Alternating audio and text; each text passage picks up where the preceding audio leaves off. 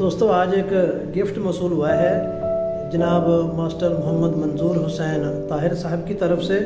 तो ये गिफ्ट मैं आप दोस्तों तक भी पहुँचा रहा हूँ।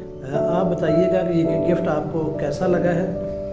असलकुम का गिफ्ट आप तक पहुंचाना है।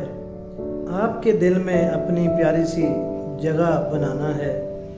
क्योंकि आज सर्दी की वजह से मौसम बहुत सुहाना है। यकीनन मेरा मैसेज रीड करके आपने मुस्कराना है।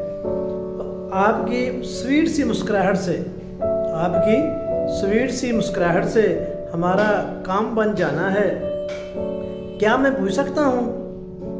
क्या मैं पूछ सकता हूँ कि आपने मिलने कब आना है?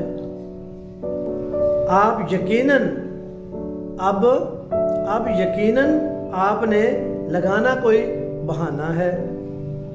मुझे तो लगता है कि हमने आपकी मुझे तो लगता है कि हमने आपकी तकते राह रह जाना है। हमें अपनी कीमती दुआ से नवाज़ दीजिए। हमारा आखिरी यही ख़जाना है। हमें अपनी कीमती दुआ से नवाज़ दीजिए। हमारा आखिरी ख़जाना है। जनाब मास्टर मोहम्मद मंजूर हुसैन ताहिर साहब दुआओं में याद रखिएगा। असलकम